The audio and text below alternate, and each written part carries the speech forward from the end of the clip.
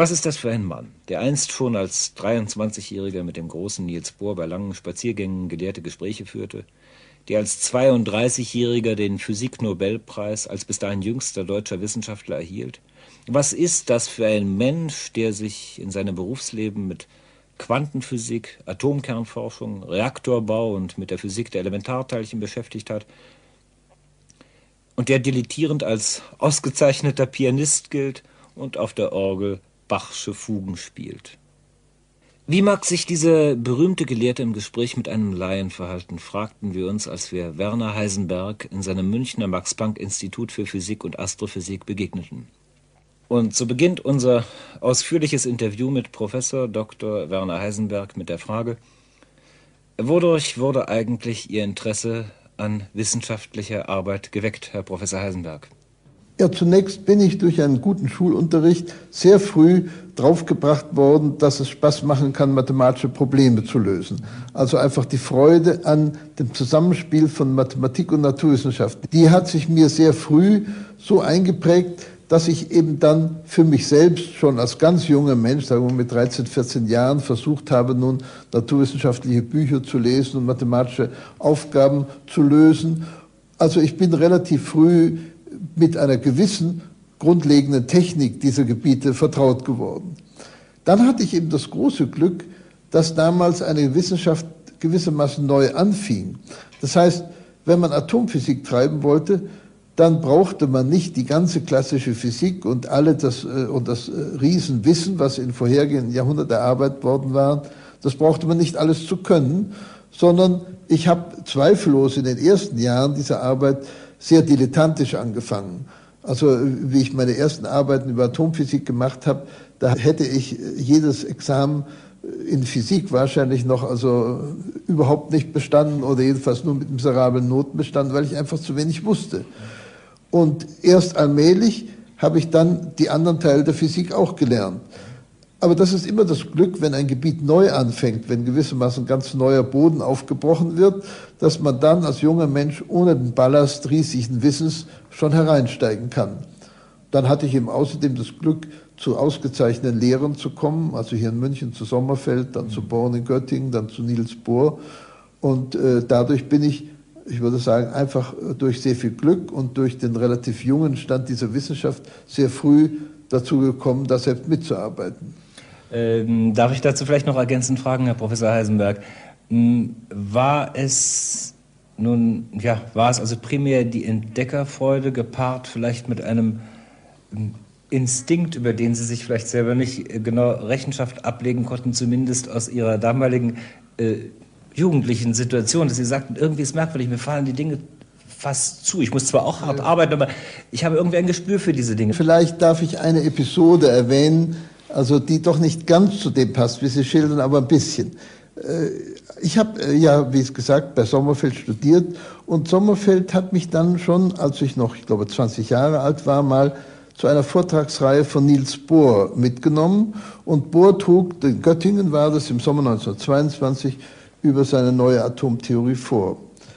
Und Bohr äh, brachte dann gewisse Rechnungen aufgrund seines Atommodells und sagte am Schluss dieser Vorlesung, obwohl man ja viele Dinge noch nicht verstünde, viele Dinge noch unklar seien, so glaube er doch, dass diese Rechnungen später durch das Experiment sehr gut bestätigt sein würden.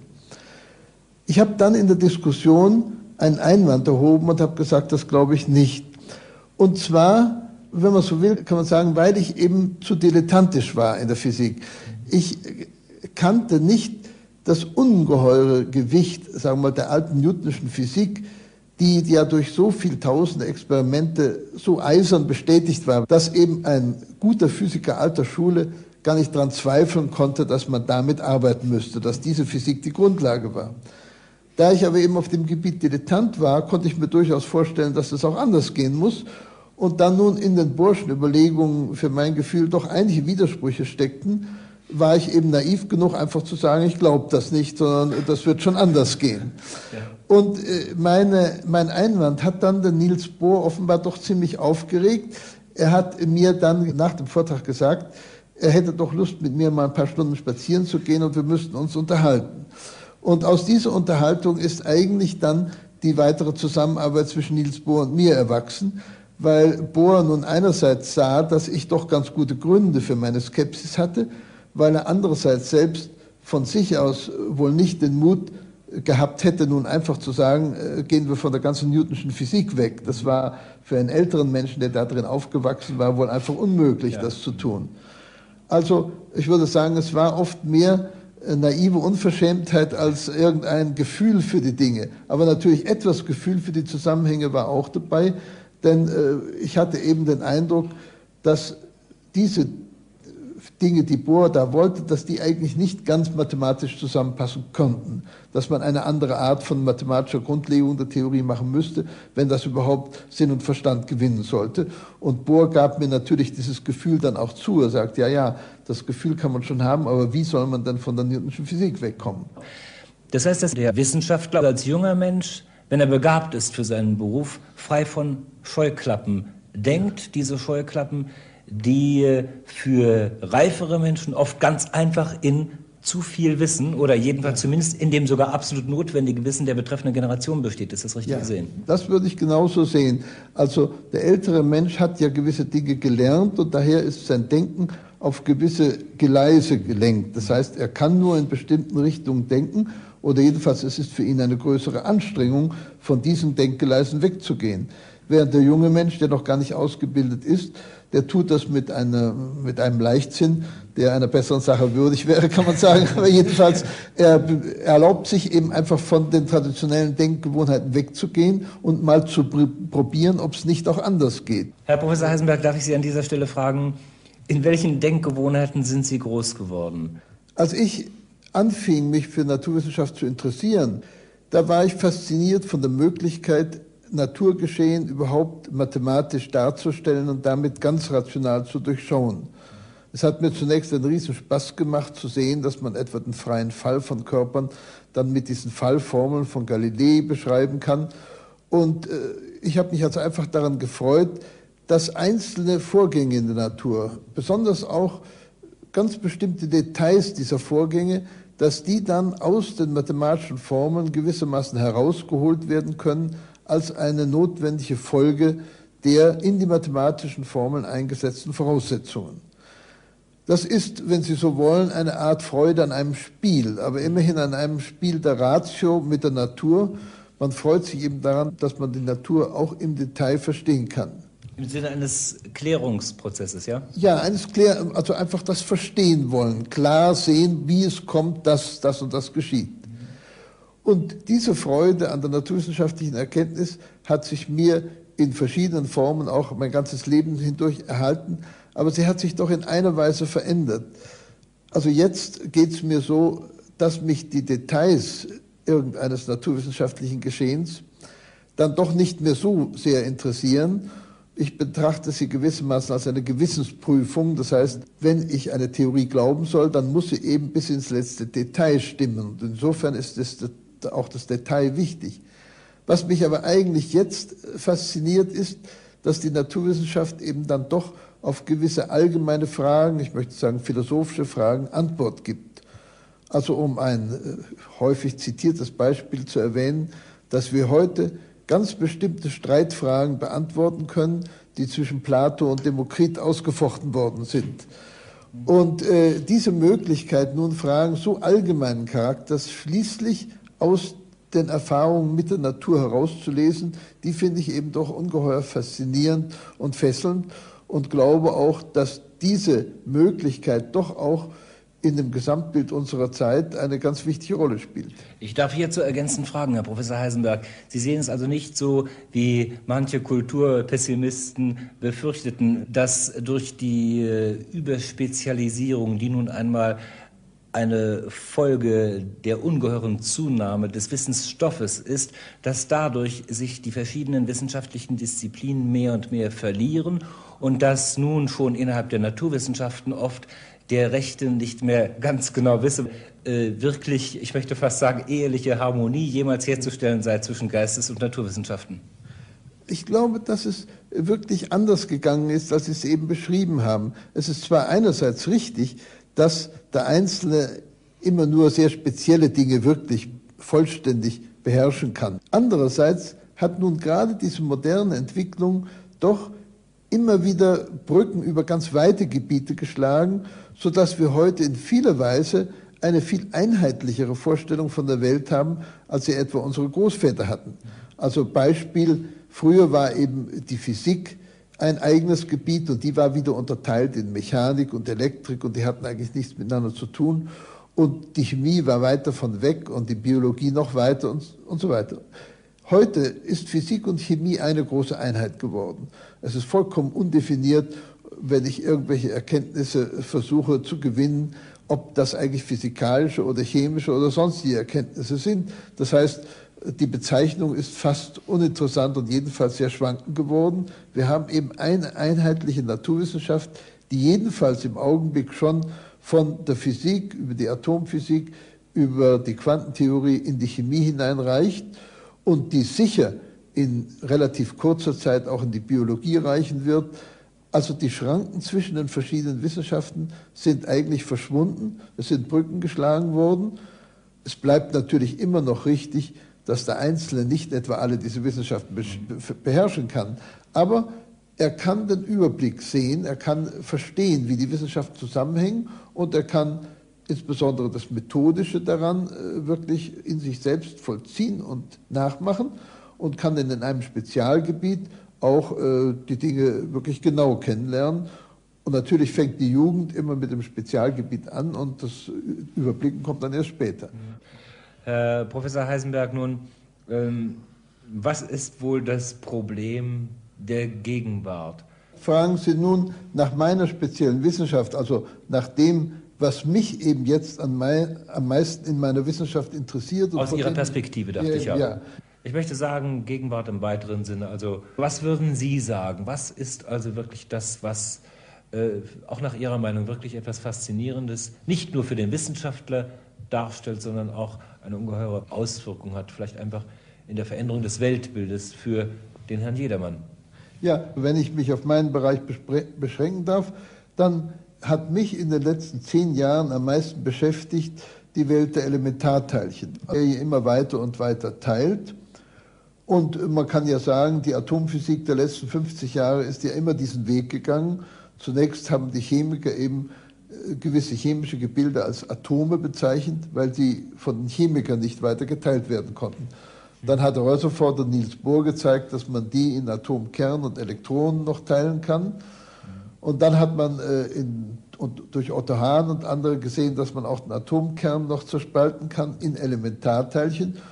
Und so naiv würde man zunächst denken, ja, das kann doch immer so weitergehen. Also schließlich kann ich ja dann auch die Protonenteilchen teilen und so weiter. Und ich glaube, dass man an dieser Stelle nun wirklich etwas völlig Neues gelernt hat, nämlich dass es mit den Elementarteilchen wirklich aufhört, und zwar in einer im ersten Augenblick recht unanschaulichen und paradoxen Weise. Man kann natürlich fragen, ja, kann ich die Elementarteilchen noch weiter zerspalten? Und man kann außerdem weiter sagen, diese großen Beschleunigungsmaschinen in Genf oder in Brookhaven oder in Russland, die sind ja gerade dazu gemacht, um das zu tun. Nämlich man schießt solche Elementarteilchen mit riesigen Energien aufeinander und äh, sieht zu, ob man sie dabei nicht kaputt kriegen kann, wenn man es leinhaft ausdrückt. Und dann passiert aber eben etwas Überraschendes. Das heißt, also wenn ich ehrlich bin, es war gar nicht so überraschend, sondern die Theoretiker haben das eigentlich schon 20 Jahre vorher sich so gedacht. Aber es war doch für viele überraschend. Es, man kriegt zwar, wenn man zwei solche Teilchen aufeinander schießt, unter Umständen sehr viele Teile, in die das auseinandergeht. Da kann man 10 oder 20 Teile haben. Aber die Teile sind gar nicht kleiner als das, was man geteilt hat sodass das, was man in Wirklichkeit getan hat, ist eigentlich gar nicht eine Teilung des Elementarteilchens, sondern man hat Energie in Materie verwandelt, was Einstein ja schon vor vielen Jahren vorhergesehen hatte. Man hat die enorme Bewegungsenergie der aufeinanderprallenden Elementarteilchen, die hat man umgesetzt in die Erzeugung neuer Elementarteilchen. Und man sieht also jetzt, dass zwei Dinge miteinander vereinbar sind, die ursprünglich unvereinbar scheinen nämlich einerseits die Tatsache, dass man immer weiter teilen kann und andererseits die Tatsache, dass es kleinste Teile gibt. Denn beim Teilen werden die Teilchen nicht mehr kleiner, sondern es entstehen einfach mehr, weil die aus Energie erst erzeugt werden. Und damit wurden doch eigentlich auch die traditionellen Begriffe von Raum und Zeit im Jargon gesagt über den Haufen geworfen. Ich würde sagen, man hat eben etwas grundsätzlich Neues gelernt und hat nun die Aufgabe bekommen, diese, die Naturgesetze rauszukriegen, nach denen das passiert, was ich ebenso anschaulich mit ein paar Worten zu schildern gesucht habe. Also die Aufgabe, die uns Theoretikern seit etwa 10 oder 20 Jahren gestellt war, die hieß, wie lauten die Naturgesetze, nach denen diese Entstehung der Elementarteilchen erfolgt? Warum gibt es genau die Elementarteilchen, die wir beobachten und keine anderen? Warum entstehen bei einem Stoß gerade die und keine anderen? Und äh, das eben äh, kann man nun auf zwei Weisen wieder rauszukriegen suchen. Das eine ist, man macht eben möglichst viele Experimente und das tut man in Genf bei CERN, das tut man in Brookhaven, in Russland, in Dubno und überall. Und zweitens, man versucht nun aus den Experimenten dann die Naturgesetze zu erkennen. Und das ist wieder die typische Aufgabe des Theoretikers. Und ich habe ja da dann eben vor etwa acht Jahren diese Formel versucht. Die Weltformel, ja. Ja, eben, die hat nicht, diesen Namen habe ich nicht erfunden, aber der kam dann so in Zeitung. Und der Sinn dieser sogenannten Weltformel ist natürlich einfach, die Naturgesetze zu formulieren, die für die Entstehung der Elementarteilchen maßgebend sind. Und äh, in, in den letzten zehn Jahren ist da doch dann auf dem Gebiet auch wirklich sehr viel zum Vorschein gekommen. Man hat gesehen, dass diese Formel nun doch eine Reihe von Phänomenen wirklich richtig darstellt, die man auch beobachtet. Man hat in den letzten Jahren nochmal sehr wesentliche Fortschritte gemacht, um die Verbindung der elektromagnetischen Vorgänge zu den anderen Elementen, dass wir jetzt mit sehr gutem Zutrauen sagen können, dass diese Formel wahrscheinlich der richtige Rahmen für die Elementarteilchenphysik ist. Also die Elementarteilchen sind die Form, in die die Energie sich begeben muss, um zur Materie zu werden. Ich weiß nicht, ob diese Formulierung verständlich ist. Und wenn man das mal weiß, und das kann man sagen, ist ein absolut gesicherter Erfahrungsschatz aus diesen Experimenten mit den großen Beschleunigern, wenn man das mal weiß, dann ist eben nun die Aufgabe zu fragen, ja, was ist die Form der Naturgesetze, nach denen das passiert? Dabei wird über den Kosmos gar nicht geredet, also über die Welt im Großen zunächst gar nicht, sondern es wird nur gefragt, was passiert im ganz Kleinen. Ich will nicht sagen unendlich klein, weil es unendlich klein ist es ja nicht, es ist endlich klein. Aber was passiert in diesem endlich klein, was passiert bei den Elementarteilchen? Und da habe ich nun einfach versucht, eben das, was man aus den Experimenten herausliest, in eine mathematische Form zu gießen. Und ich habe einstweilen das Zutrauen, dass diese mathematische Form sich auch weiterhin bewähren wird, denn sie hat sich in der Tat in der letzten Zeit, oder sagen wir mal in den zehn Jahren, seit sie formuliert worden ist, auch bewährt.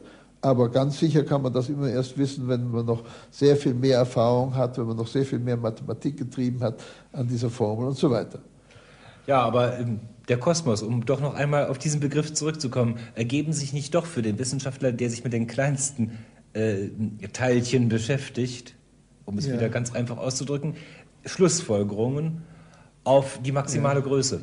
Ich glaube, dass die kosmologischen Probleme von einer etwas anderen Struktur sind als die Probleme bei den Elementarteilchen. Es ist zwar wahr, dass die Kosmologie in der Elementarteilchentheorie eine Rolle spielt, aber nur als eine Art von Randbedingungen zu den Problemen, die wir zu lösen haben. Aber der grundsätzliche Unterschied kommt in folgender Weise vielleicht am deutlichsten heraus. In der Elementarteilchentheorie oder auch sonst in der Physik reden wir von Naturgesetzen. Und was heißt Gesetz? Gesetz heißt, dass wir sagen, immer dann, wenn dies geschieht, so geschieht auch jedes, jenes. Oder immer dann, wenn wir dies und dieses Experiment machen, dann muss das und das herauskommen. Also für den Begriff des Naturgesetzes ist das Entscheidende die Wiederholbarkeit.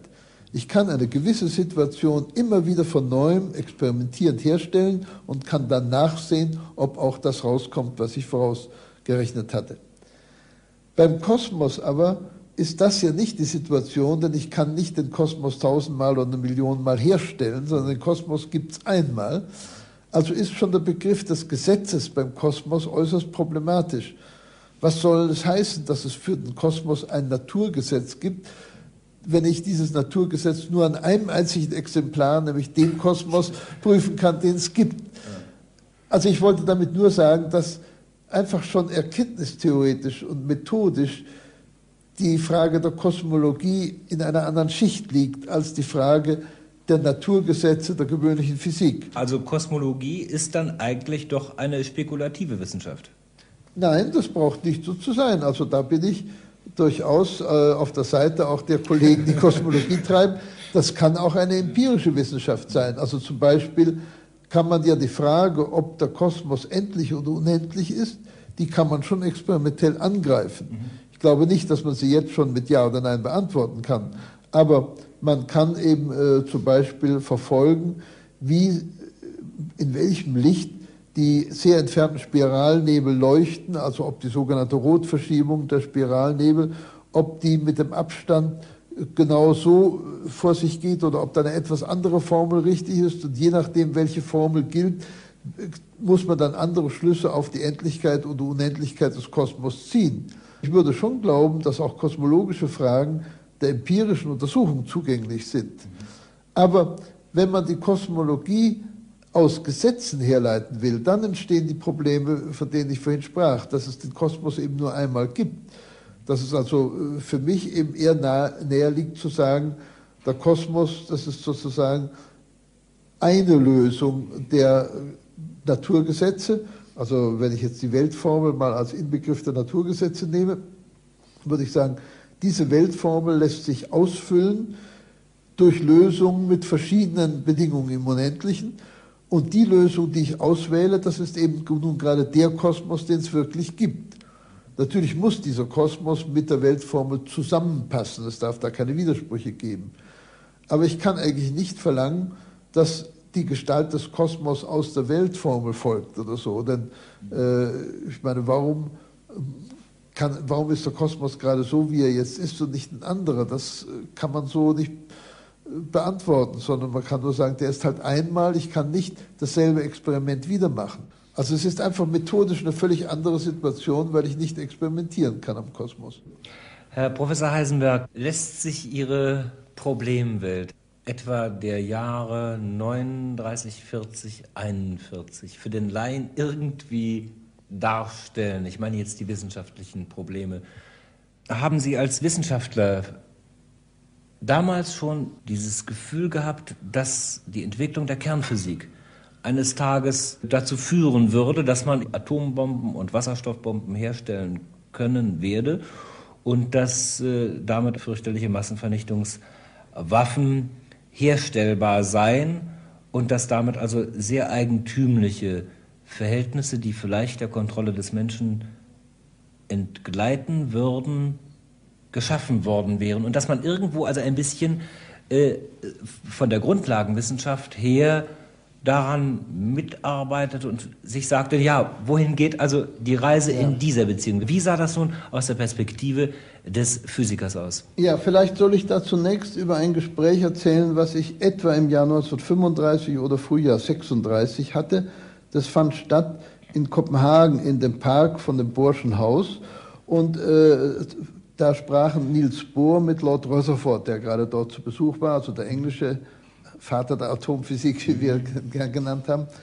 Und da habe ich in dem Gespräch mal dem Rutherford die Frage gestellt, äh, etwa so, Sie sind doch Experimentalphysiker, sehen Sie irgendeine Möglichkeit, dass diese Atomphysik mal zu technischen Anwendungen führt? Und da lachte er und sagt, jeder, der von technischen Anwendungen Atomphysik faselt, der redet eben Blödsinn.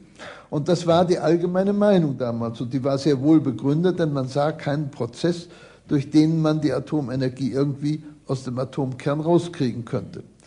Und diese Lage hat sich schlagartig geändert, erst im Jahr 1938 durch die Hahnsche Entdeckung. Otto Hahn war damals noch in Göttingen, nicht? Nein, in Berlin. Ach, er war in Berlin, ja. Otto Hahn war in Berlin und mein früherer Mitarbeiter und Schüler Weizsäcker war damals zu Otto Hahn nach Berlin gegangen und war Assistent in Berlin geworden am Hahnschen Institut. Besuchte uns aber natürlich in Leipzig noch oft, um uns einfach zu erzählen, was da in Berlin gemacht wurde. Und ich weiß, dass er dann eines Tages nach Leipzig kam und uns im Seminar davon erzählte, also Hahn hätte wahrscheinlich jetzt sowas gefunden, was aussähe, als ob der Atomkern gespalten werden könnte. Und das hat uns dann ungeheuer aufgeregt und wir haben natürlich im Laufe von wenigen Stunden uns dann gleich ausgemalt, was die Möglichkeiten, die Folgen, die Voraussetzungen sind. Und äh, von dem Moment ab hat jeder gesehen, jetzt wird es sozusagen gefährlich. Also jetzt ist es doch denkbar, dass man die Atomenergie frei macht und vielleicht eben sogar explosiv frei macht durch Kettenreaktionen. Und äh, die wirkliche Situation war die, dass zunächst die Machthaber Deutschlands überhaupt nicht das leiseste Zutrauen zu irgendwelchen Entwicklungen der Physik oder äh, dergleichen hatten, sondern äh, die Wissenschaft bedeutete für die Menschen ja überhaupt nichts. Und äh, es ist ganz charakteristisch, dass die Hahnsche Entdeckung von der Uranspaltung damals in Amerika in ungeheuren Schlagzeilen durch sämtliche Zeitungen ging und die ganze Öffentlichkeit aufs Äußerste erregte, während in Deutschland entweder gar nichts erschien oder auf der vierten Seite im Kleinstdruck. Also in Deutschland hat niemand davon äh, irgendwie Notiz genommen. Daher war nun die Frage für uns ganz anders gestellt. Es hatte in der Tat Flügge im August 1939 die Möglichkeit der Kettenreaktion ganz öffentlich in einer wissenschaftlichen Zeitschrift diskutiert. Und das hat dann auch zur Folge gehabt, dass dann äh, am Anfang des Krieges ein Ausschuss eingesetzt wurde, zu dem Atomphysiker berufen wurden, die nun die Möglichkeiten erkunden sollten. Und äh, wir haben dann äh, Experimente gemacht in den Jahren von 1939 bis 1941, um zu sehen, was möglich ist. Ob man Reaktoren bauen kann, ob man Sprengstoff machen kann, ob man Atombomben machen kann und so weiter. Aber unsere Lage war, ich möchte sagen, eben außerordentlich viel glücklicher als die der amerikanischen Kollegen. Insofern, als sich ja dann herausstellte, dass es doch sehr schwierig ist, Atombomben zu machen. Also wenn es leicht gewesen wäre, dann hätte es kein Mensch verhindern können, dann wäre es eben schnell gemacht worden von irgendjemandem. Wenn es ganz unmöglich gewesen wäre, wäre das Problem gar nicht entstanden.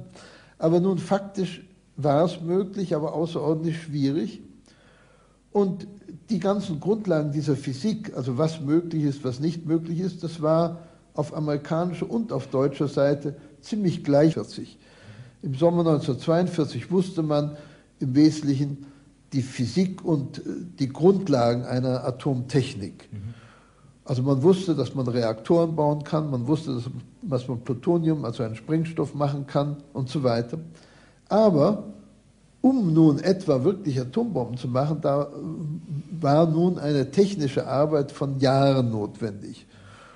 Und wir konnten nun mit gutem Gewissen unserer Regierung sagen, ja, also das ist ebenso schwierig. Und die Regierung sagte ja, alle Sachen, die nicht in einem halben Jahr einsatzbereit sind, dürfen gar nicht mehr gemacht werden, denn der Krieg muss ja jetzt ganz schnell zum Ende geführt werden. Also wir konnten mit gutem Gewissen die Wahrheit sagen und wussten, dass wir dann nicht aufgefordert wurden, Atombomben zu machen. Und wir sind nicht aufgefordert worden, welche zu machen. Während auf der amerikanischen Seite das naturgemäß ganz anders aussah. Das Industriepotenzial war unvergleichlich viel größer als das Deutschlands. Die, die Amerikaner hatten Zeit und konnten ruhig drei, vier Jahre oder länger an so etwas arbeiten. Also für die amerikanischen Physiker wäre es nicht leicht gewesen zu sagen, das geht gar nicht in der Zeit, in der ihr das haben wollt, sondern äh, sie waren natürlich einfach in der Lage, dass sie dichter dran waren an dem Problem. Also ich darf äh, wiederholen, etwa ab 1942 hätten Sie selber die Herstellung einer Bombe dieser Art für möglich gehalten, rein von der Technik her, ja. aber nicht in Deutschland und nicht mit den verfügbaren Mitteln, die hier etwa die dafür in Frage kommende Industrie bot. Und insbesondere nicht in der kurzen Zeit, die von der Regierung als unabdingbar gefordert wurde und gefordert werden musste wegen der Kriegslage. Ja. Trifft es zu, Herr Professor Heisenberg, dass äh, Sie selber dann überrascht waren und äh, bestürzt waren, als Sie dann hörten, dass überhaupt Atombomben zum Einsatz gekommen waren? Denn Sie waren doch, wenn ich recht äh, mich erinnere, interniert worden, ja. äh, Kriegsende 45 und kamen nach England. Und ich glaube, erst in England ja. haben sie ja. als internierter Wissenschaftler erfahren, dass über Hiroshima und Nagasaki diese beiden amerikanischen Atombomben gefallen sind. Ja. Also äh, am Ende des Krieges haben die Amerikaner ja direkt eine kleine Truppe ausgesandt, die nur die Aufgabe hatte, eben diese paar Atomphysiker in Deutschland einzufangen. Und daraus sahen wir nun, dass diesem Gebiet eine gewisse Wichtigkeit beigemessen wurde. Und wir haben natürlich unsere amerikanischen Kollegen, die uns nun so quasi verhörten, aber das war ein sehr freundliches Verhör, die haben wir natürlich nun umgekehrt wieder gefragt, ja, habt ihr denn auf dem Gebiet etwas gemacht? Und wenn ja, dann würden wir uns ja gut vorstellen können, dass ihr sehr viel schneller und sehr viel mehr machen konntet als wir, denn ihr hattet ja nun ein unendlich viel größeres Industriepotenzial. Und damals bekamen wir immer die Antwort, nein, in Amerika ist auf dem Gebiet nicht gearbeitet worden. Diese Antwort war durchaus begreiflich, denn im Kriege müssen Dinge geheim gehalten werden. Also ich nehme keinen übel, dass er in so einem Fall nicht die Wahrheit sagte. Das kann man nicht im Kriege, nicht? Aber durch diese Gespräche mit den amerikanischen Kollegen hatten wir also dann auch die Vorstellung, naja, die Amerikaner haben auch gesehen, dass der technische Aufwand um das, für das Atombombenherstellen so ungeheuer groß ist, dass das in einem Kriege keinen rechten Sinn hat, wo man ja so viele andere technische Dinge machen muss, wie eben viele Flugzeuge bauen und so weiter. Also wir konnten uns durchaus vorstellen, dass, auch die Amerikaner einfach diese Dinge nicht gemacht haben, weil sie sagten, wir haben dringendere Aufgaben zu tun, als eine waffentechnische Entwicklung zu machen, die wahrscheinlich in dem Krieg gar nicht mehr zum Tragen kommt und die ja auch faktisch in dem Krieg Amerikas gegen Deutschland nicht zum Tragen gekommen ist. Ja. Also das darf man nicht vergessen. Auch die Amerikaner haben ja eine Atombombe gegen Hitler nicht mehr machen können. Also drum haben wir eigentlich dann uns bei dem Gedanken beruhigt, dass wahrscheinlich auch die Amerikaner das nicht gemacht haben und waren daher dann doch sehr überrascht, wie plötzlich im Radio die Nachricht durchkam, dass eine solche Atombombe geworfen worden war. Und darum habe ich am Anfang das auch gar nicht geglaubt, weil es äh, in Widerspruch stand zu dem, was mir die Kollegen gesagt hatten. Und erst wie ich dann im Radio hörte, dass ein ungeheurer technischer Aufwand getrieben worden war, dass Hunderttausende von Leuten eingesetzt waren, dass Fabrikstädte gebaut wurden von Quadratkilometern, mehreren Quadratkilometern, dann haben wir gesagt, na ja, wenn der Aufwand getrieben wird, dann wird es schon gegangen sein. Herr Professor Heisenberg, sehen Sie Probleme der Zukunft die nach Ihrer Meinung brennend sind, die aber nicht einmal Ihren engeren persönlichen, wissenschaftlichen Bereich betreffen, sondern einfach eine bestimmte Tendenz der Naturwissenschaft? Ja, ich würde sagen, dass ja jeder Mensch mit seinem Leben in einen bestimmten historischen Prozess eingespannt oder eingebettet ist und dass er durch diesen historischen Prozess nun Aufgaben mitbekommt. Also etwa wer im 16. Jahrhundert geboren wurde, der konnte vielleicht teilnehmen an der Entwicklung der Malerei oder wer im 18. Jahrhundert geboren wurde, konnte die Entwicklung der Musik, der klassischen Musik, äh, an der mitwirken. Also es sind jeden Zeitalter gewisse Aufgaben gestellt.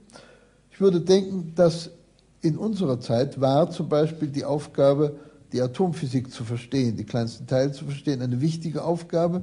Ich könnte bedenken, dass in der Wissenschaft für die nächste Generation vielleicht die interessanteste und zentralste Aufgabe das Verständnis der biologischen Zusammenhänge ist, also die Molekularbiologie, die ist jetzt in einem Zustand, wo ungeheuer viel Neues anschießt und sich entwickelt. Und dann ist unserer Welt natürlich eine politische Aufgabe gestellt. In früheren Zeiten gab es abgeschlossene Kulturkreise, die relativ wenig miteinander in Wechselwirkung standen. Und es handelte sich um die Ordnung in diesen Kulturkreisen. Dagegen in unserer Zeit ist ganz offensichtlich durch die Entwicklung von Naturwissenschaft und Technik das Zusammenfließen der verschiedenen Kulturkreise schon so weit fortgeschritten, dass es sich eben darum handelt, nun so etwas wie eine einheitliche Ordnung, soziale und äh, eben, also gesellschaftliche, politische Ordnung auf der ganzen Erde herzustellen. Eigentlich eine Art politische Weltformel, ja?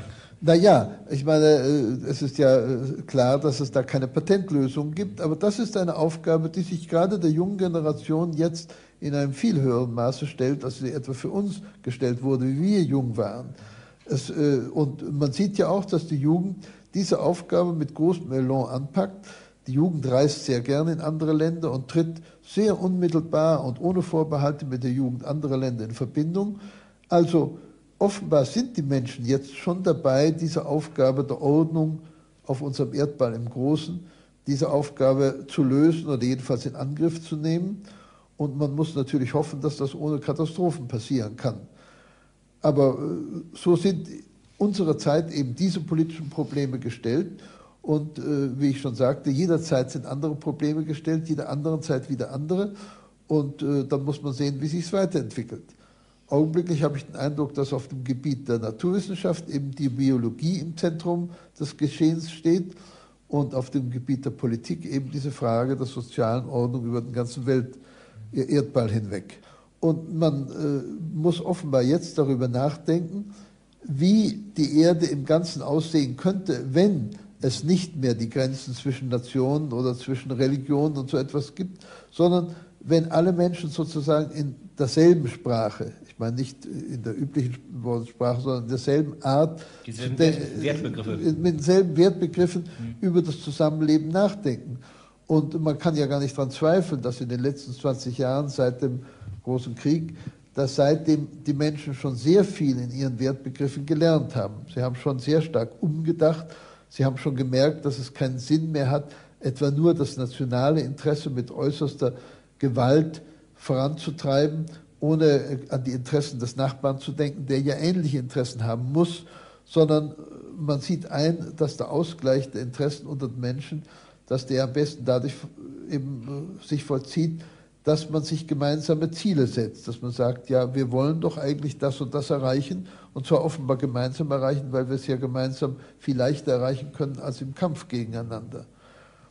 Aber diese Veränderung der Werte, also insbesondere der sozialen Werte oder der gesellschaftlichen Vorstellungen, an der kann ja jeder mitarbeiten und äh, man kann beinahe sagen, der arbeitet ja schon unbewusst fast jeder mit, der überhaupt über solche Dinge spricht. Und äh, an dem Prozess lohnt es sich sehr teilzunehmen. Sie jedenfalls, Herr Professor Heisenberg, haben als Naturwissenschaftler äh, keine Sorge vor den Geistern, die gerufen wurden, die entfesselt wurden. Sie sind, wenn ich ja. es mit dem banalen Wort, aber ja. dem doch sehr verständlichen und ja. einprägsamen Wort umschreiben darf, ein fortschrittsgläubiger Mensch. Also in dem Sinn fortschrittsgläubig, dass ich glaube, dass erstens die Welt sich immer wieder ändert und zweitens, dass es besser ist, zu dieser Änderung Ja zu sagen, als Nein zu sagen. Dass es also besser ist zu sagen, wollen wir ruhig aus dieser Änderung nun das Beste machen, was zu machen ist. Ich habe schon auch Angst davor, dass der zu schnelle Fortschritt der Wissenschaft eben zusammentrifft mit sehr altertümlichen Denkverfahren in breiten Volksmassen, sodass es da große Schwierigkeiten gibt. Aber ich sehe nicht ein, dass das nun notwendig zu Katastrophen führen muss. Und ich sehe die Schwierigkeiten auch gar nicht etwa nur bei der Atombombe oder bei solchen Sachen, aber etwa wenn es äh, nun jedem möglich sein sollte, mit relativ billigen Mitteln etwa Rauschgift herzustellen, dann ist wieder ein entsetzliches Problem für die Menschen gestellt, nämlich wie schütze ich mich gegen eine solche Unvernunft, die zunächst scheinbar verlockend ist, wie ja überhaupt viele Unvernunft immer am Anfang verlockend ist und nachher nicht mehr. Aber äh, immer dann, äh, wenn Gefahr entsteht, also Hölderlin sagt, wo Gefahr ist, wächst das Rettende auch. Also dann äh, wird man ja auch gewarnt und versucht dann Abwehrmaßnahmen zu ergreifen. Und man muss halt immer hoffen, dass dann die Abwehrmaßnahmen doch erfolgreicher sind als die Gefahr. Und daran muss man mittun. Und äh, die Änderungen kann man doch nicht verhindern. Also es ist besser, zu ihnen Ja zu sagen und eben daran zu arbeiten, dass sie in der richtigen Richtung gehen.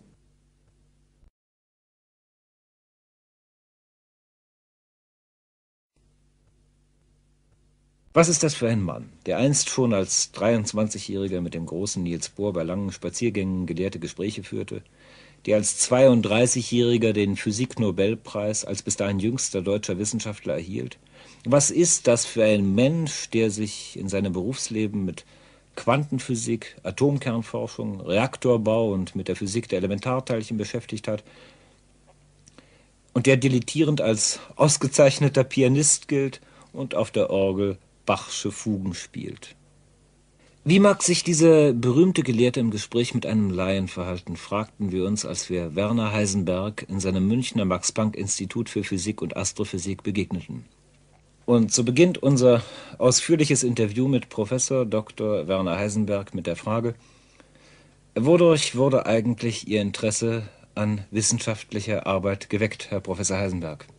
Ja, zunächst bin ich durch einen guten Schulunterricht sehr früh draufgebracht worden, dass es Spaß machen kann, mathematische Probleme zu lösen. Also einfach die Freude an dem Zusammenspiel von Mathematik und Naturwissenschaft. Die hat sich mir sehr früh so eingeprägt, dass ich eben dann für mich selbst schon als ganz junger Mensch, sagen wir mit 13, 14 Jahren, versucht habe, nun naturwissenschaftliche Bücher zu lesen und mathematische Aufgaben zu lösen. Also ich bin relativ früh mit einer gewissen grundlegenden Technik dieser Gebiete vertraut geworden. Dann hatte ich eben das große Glück, dass damals eine Wissenschaft gewissermaßen neu anfing. Das heißt, wenn man Atomphysik treiben wollte, dann brauchte man nicht die ganze klassische Physik und alle das, äh, und das äh, Riesenwissen, was in vorhergehenden Jahrhunderten erarbeitet worden war. Das brauchte man nicht alles zu können, sondern ich habe zweifellos in den ersten Jahren dieser Arbeit sehr dilettantisch angefangen. Also wie ich meine ersten Arbeiten über Atomphysik gemacht habe, da hätte ich jedes Examen in Physik wahrscheinlich noch also überhaupt nicht bestanden oder jedenfalls nur mit miserablen Noten bestanden, weil ich einfach zu wenig wusste. Und erst allmählich habe ich dann die anderen Teile der Physik auch gelernt. Aber das ist immer das Glück, wenn ein Gebiet neu anfängt, wenn gewissermaßen ganz neuer Boden aufgebrochen wird, dass man dann als junger Mensch ohne den Ballast riesigen Wissens schon hereinsteigen kann. Dann hatte ich eben außerdem das Glück, zu ausgezeichneten Lehrern zu kommen, also hier in München zu Sommerfeld, dann zu Born in Göttingen, dann zu Niels Bohr. Und äh, dadurch bin ich, ich würde sagen, einfach durch sehr viel Glück und durch den relativ jungen Stand dieser Wissenschaft sehr früh dazu gekommen, da selbst mitzuarbeiten. Ähm, darf ich dazu vielleicht noch ergänzend fragen, Herr Professor Heisenberg? Hm, war es nun, ja, war es also primär die Entdeckerfreude gepaart vielleicht mit einem hm, Instinkt, über den Sie sich vielleicht selber nicht äh, genau Rechenschaft ablegen konnten, zumindest aus Ihrer damaligen äh, jugendlichen Situation, dass Sie sagten, irgendwie ist merkwürdig, mir fallen die Dinge fast zu. Ich muss zwar auch hart arbeiten, aber ich habe irgendwie ein Gespür für diese Dinge. Vielleicht darf ich eine Episode erwähnen, also die doch nicht ganz zu dem passt, wie Sie schildern, aber ein bisschen. Äh, ich habe äh, ja, wie es gesagt, bei Sommerfeld studiert und Sommerfeld hat mich dann schon, als ich noch, ich glaube, 20 Jahre alt war, mal zu einer Vortragsreihe von Niels Bohr mitgenommen und Bohr trug, in Göttingen war das im Sommer 1922, über seine neue Atomtheorie vor. Und Bohr äh, brachte dann gewisse Rechnungen aufgrund seines Atommodells und sagte am Schluss dieser Vorlesung, obwohl man ja viele Dinge noch nicht verstünde, viele Dinge noch unklar seien, so glaube er doch, dass diese Rechnungen später durch das Experiment sehr gut bestätigt sein würden. Ich habe dann in der Diskussion einen Einwand erhoben und habe gesagt, das glaube ich nicht. Und zwar, wenn man so will, kann man sagen, weil ich eben zu dilettantisch war in der Physik. Ich kannte nicht das ungeheure Gewicht, sagen wir der alten Newtonischen Physik, die ja durch so viele tausende Experimente so eisern bestätigt war, dass eben ein guter Physiker alter Schule gar nicht daran zweifeln konnte, dass man damit arbeiten müsste, dass diese Physik die Grundlage war. Da ich aber eben auf dem Gebiet Dilettant war, konnte ich mir durchaus vorstellen, dass es auch anders gehen muss. Und dann nun in den Burschen Überlegungen für mein Gefühl doch einige Widersprüche steckten, war ich eben naiv genug, einfach zu sagen, ich glaube das nicht, sondern das wird schon anders gehen. Ja. Und äh, meine, mein Einwand hat dann der Niels Bohr offenbar doch ziemlich aufgeregt. Er hat mir dann nach dem Vortrag gesagt, er hätte doch Lust, mit mir mal ein paar Stunden spazieren zu gehen und wir müssten uns unterhalten. Und aus dieser Unterhaltung ist eigentlich dann die weitere Zusammenarbeit zwischen Niels Bohr und mir erwachsen, weil Bohr nun einerseits sah, dass ich doch ganz gute Gründe für meine Skepsis hatte, weil er andererseits selbst von sich aus wohl nicht den Mut gehabt hätte, nun einfach zu sagen, äh, gehen wir von der ganzen Newtonschen Physik weg. Das war für einen älteren Menschen, der da drin aufgewachsen war, wohl einfach unmöglich, ja. das zu tun. Also ich würde sagen, es war oft mehr äh, naive Unverschämtheit als irgendein Gefühl für die Dinge. Aber natürlich etwas Gefühl für die Zusammenhänge war auch dabei, denn äh, ich hatte eben den Eindruck, dass diese Dinge, die Bohr da wollte, dass die eigentlich nicht ganz mathematisch zusammenpassen konnten. Dass man eine andere Art von mathematischer Grundlegung der Theorie machen müsste, wenn das überhaupt Sinn und Verstand gewinnen sollte. Und Bohr gab mir natürlich dieses Gefühl dann auch zu. Er sagt, ja, ja, das Gefühl kann man schon haben, aber wie soll man dann von der Newtonschen Physik wegkommen? Das heißt, dass der Wissenschaftler als junger Mensch wenn er begabt ist für seinen Beruf, frei von Scheuklappen denkt, diese Scheuklappen, die für reifere Menschen oft ganz einfach in zu viel Wissen oder jedenfalls zumindest in dem sogar absolut notwendigen Wissen der betreffenden Generation besteht. Ist das richtig ja, gesehen? Das würde ich genauso sehen. Also der ältere Mensch hat ja gewisse Dinge gelernt und daher ist sein Denken auf gewisse Geleise gelenkt. Das heißt, er kann nur in bestimmten Richtungen denken oder jedenfalls es ist für ihn eine größere Anstrengung, von diesen Denkgeleisen wegzugehen. Während der junge Mensch, der noch gar nicht ausgebildet ist, der tut das mit, einer, mit einem Leichtsinn, der einer besseren Sache würdig wäre, kann man sagen. Aber jedenfalls, er erlaubt sich eben einfach von den traditionellen Denkgewohnheiten wegzugehen und mal zu probieren, ob es nicht auch anders geht. Herr Professor Heisenberg, darf ich Sie an dieser Stelle fragen, in welchen Denkgewohnheiten sind Sie groß geworden? Als ich anfing, mich für Naturwissenschaft zu interessieren, da war ich fasziniert von der Möglichkeit, Naturgeschehen überhaupt mathematisch darzustellen und damit ganz rational zu durchschauen. Es hat mir zunächst einen riesen Spaß gemacht zu sehen, dass man etwa den freien Fall von Körpern dann mit diesen Fallformeln von Galilei beschreiben kann. Und äh, ich habe mich also einfach daran gefreut, dass einzelne Vorgänge in der Natur, besonders auch ganz bestimmte Details dieser Vorgänge, dass die dann aus den mathematischen Formeln gewissermaßen herausgeholt werden können als eine notwendige Folge der in die mathematischen Formeln eingesetzten Voraussetzungen. Das ist, wenn Sie so wollen, eine Art Freude an einem Spiel, aber immerhin an einem Spiel der Ratio mit der Natur. Man freut sich eben daran, dass man die Natur auch im Detail verstehen kann. Im Sinne eines Klärungsprozesses, ja? Ja, eines Klär, also einfach das Verstehen wollen, klar sehen, wie es kommt, dass das und das geschieht. Und diese Freude an der naturwissenschaftlichen Erkenntnis hat sich mir in verschiedenen Formen auch mein ganzes Leben hindurch erhalten, aber sie hat sich doch in einer Weise verändert. Also jetzt geht es mir so, dass mich die Details irgendeines naturwissenschaftlichen Geschehens dann doch nicht mehr so sehr interessieren. Ich betrachte sie gewissermaßen als eine Gewissensprüfung. Das heißt, wenn ich eine Theorie glauben soll, dann muss sie eben bis ins letzte Detail stimmen. Und insofern ist es auch das Detail wichtig. Was mich aber eigentlich jetzt fasziniert ist, dass die Naturwissenschaft eben dann doch auf gewisse allgemeine Fragen, ich möchte sagen philosophische Fragen, Antwort gibt. Also um ein äh, häufig zitiertes Beispiel zu erwähnen, dass wir heute ganz bestimmte Streitfragen beantworten können, die zwischen Plato und Demokrit ausgefochten worden sind. Und äh, diese Möglichkeit, nun Fragen so allgemeinen Charakters schließlich aus den Erfahrungen mit der Natur herauszulesen, die finde ich eben doch ungeheuer faszinierend und fesselnd und glaube auch, dass diese Möglichkeit doch auch in dem Gesamtbild unserer Zeit eine ganz wichtige Rolle spielt. Ich darf hierzu ergänzend fragen, Herr Professor Heisenberg. Sie sehen es also nicht so, wie manche Kulturpessimisten befürchteten, dass durch die äh, Überspezialisierung, die nun einmal eine Folge der ungeheuren Zunahme des Wissensstoffes ist, dass dadurch sich die verschiedenen Chemiker nicht weiter geteilt werden konnten. Dann hat Rutherford und Niels Bohr gezeigt, dass man die in Atomkern und Elektronen noch teilen kann. Und dann hat man äh, in, und durch Otto Hahn und andere gesehen, dass man auch den Atomkern noch zerspalten kann in Elementarteilchen. Und so naiv würde man zunächst denken, ja, das kann doch immer so weitergehen. Also schließlich kann ich ja dann auch die Protonenteilchen teilen und so weiter. Und ich glaube, dass man an dieser Stelle nun wirklich etwas völlig Neues gelernt hat, nämlich dass es mit den Elementarteilchen wirklich aufhört, und zwar in einer im ersten Augenblick recht unanschaulichen und paradoxen Weise. Man kann natürlich fragen, ja, kann ich die Elementarteilchen noch weiter zerspalten? Und man kann außerdem weiter sagen, diese großen Beschleunigungsmaschinen in Genf oder in Brookhaven oder in Russland, die sind ja gerade dazu gemacht, um das zu tun. Nämlich man schießt solche Elementarteilchen mit riesigen Energien aufeinander und äh, sieht zu, ob man sie dabei nicht kaputt kriegen kann, wenn man es leinhaft ausdrückt. Und dann passiert aber eben etwas Überraschendes. Das heißt, also wenn ich ehrlich bin, es war gar nicht so überraschend, sondern die Theoretiker haben das eigentlich schon 20 Jahre vorher sich so gedacht.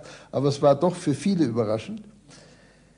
Es, man kriegt zwar, wenn man zwei solche Teilchen aufeinander schießt, unter Umständen sehr viele Teile, in die das auseinandergeht kann man 10 oder 20 Teile haben, aber die Teile sind gar nicht kleiner als das, was man geteilt hat. Sodass das, was man in Wirklichkeit getan hat, ist eigentlich gar nicht eine Teilung des Elementarteilchens, sondern man hat Energie in Materie verwandelt, was Einstein ja schon vor vielen Jahren vorhergesehen hatte. Man hat die enorme Bewegungsenergie der aufeinanderprallenden Elementarteilchen, die hat man umgesetzt in die Erzeugung neuer Elementarteilchen. Und man sieht also jetzt, dass zwei Dinge miteinander vereinbar sind, die ursprünglich unvereinbar scheinen. Nämlich einerseits die Tatsache, dass man immer weiter teilen kann und andererseits die Tatsache, dass es kleinste Teile gibt. Denn beim Teilen werden die Teilchen nicht mehr kleiner, sondern es entstehen einfach mehr, weil die aus Energie erst erzeugt werden. Und damit wurden doch eigentlich auch die traditionellen Begriffe von Raum und Zeit im Jargon gesagt über den Haufen geworfen. Ich würde sagen, man hat eben etwas grundsätzlich Neues gelernt und hat nun die Aufgabe bekommen, diese, die Naturgesetze rauszukriegen, nach denen das passiert, was ich ebenso anschaulich mit ein paar Worten zu schildern gesucht habe. Also die Aufgabe, die uns Theoretikern seit etwa 10 oder 20 Jahren gestellt war, die hieß, wie lauten die Naturgesetze, nach denen diese Entstehung der Elementarteilchen erfolgt? Warum gibt es genau die Elementarteilchen, die wir beobachten und keine anderen? Warum entstehen bei einem Stoß gerade die und keine anderen? Und äh, das eben äh, kann man nun auf zwei Weisen wieder rauszukriegen suchen. Das eine ist, man macht eben möglichst viel Experimente und das tut man. In den wissenschaftlichen Disziplinen mehr und mehr verlieren und das nun schon innerhalb der Naturwissenschaften oft der Rechte nicht mehr ganz genau wisse, äh, wirklich, ich möchte fast sagen, eheliche Harmonie jemals herzustellen sei zwischen Geistes- und Naturwissenschaften. Ich glaube, dass es wirklich anders gegangen ist, als Sie es eben beschrieben haben. Es ist zwar einerseits richtig, dass der Einzelne immer nur sehr spezielle Dinge wirklich vollständig beherrschen kann. Andererseits hat nun gerade diese moderne Entwicklung doch immer wieder Brücken über ganz weite Gebiete geschlagen, sodass wir heute in vieler Weise eine viel einheitlichere Vorstellung von der Welt haben, als sie etwa unsere Großväter hatten. Also Beispiel, früher war eben die Physik ein eigenes Gebiet und die war wieder unterteilt in Mechanik und Elektrik und die hatten eigentlich nichts miteinander zu tun. Und die Chemie war weit davon weg und die Biologie noch weiter und, und so weiter. Heute ist Physik und Chemie eine große Einheit geworden. Es ist vollkommen undefiniert, wenn ich irgendwelche Erkenntnisse versuche zu gewinnen, ob das eigentlich physikalische oder chemische oder sonstige Erkenntnisse sind. Das heißt, die Bezeichnung ist fast uninteressant und jedenfalls sehr schwankend geworden. Wir haben eben eine einheitliche Naturwissenschaft, die jedenfalls im Augenblick schon von der Physik über die Atomphysik, über die Quantentheorie in die Chemie hineinreicht und die sicher in relativ kurzer Zeit auch in die Biologie reichen wird. Also die Schranken zwischen den verschiedenen Wissenschaften sind eigentlich verschwunden, es sind Brücken geschlagen worden. Es bleibt natürlich immer noch richtig, dass der Einzelne nicht etwa alle diese Wissenschaften beherrschen kann, aber er kann den Überblick sehen, er kann verstehen, wie die Wissenschaften zusammenhängen und er kann insbesondere das Methodische daran äh, wirklich in sich selbst vollziehen und nachmachen und kann in einem Spezialgebiet auch äh, die Dinge wirklich genau kennenlernen. Und natürlich fängt die Jugend immer mit dem Spezialgebiet an und das Überblicken kommt dann erst später. Herr Professor Heisenberg, nun, ähm, was ist wohl das Problem der Gegenwart? Fragen Sie nun nach meiner speziellen Wissenschaft, also nach dem, was mich eben jetzt am meisten in meiner Wissenschaft interessiert. Aus Ihrer Perspektive, dachte ja, ich auch. Ja. Ich möchte sagen, Gegenwart im weiteren Sinne. Also, was würden Sie sagen? Was ist also wirklich das, was äh, auch nach Ihrer Meinung wirklich etwas Faszinierendes, nicht nur für den Wissenschaftler darstellt, sondern auch eine ungeheure Auswirkung hat, vielleicht einfach in der Veränderung des Weltbildes für den Herrn Jedermann? Ja, wenn ich mich auf meinen Bereich beschränken darf, dann hat mich in den letzten zehn Jahren am meisten beschäftigt die Welt der Elementarteilchen, die immer weiter und weiter teilt. Und man kann ja sagen, die Atomphysik der letzten 50 Jahre ist ja immer diesen Weg gegangen. Zunächst haben die Chemiker eben äh, gewisse chemische Gebilde als Atome bezeichnet, weil sie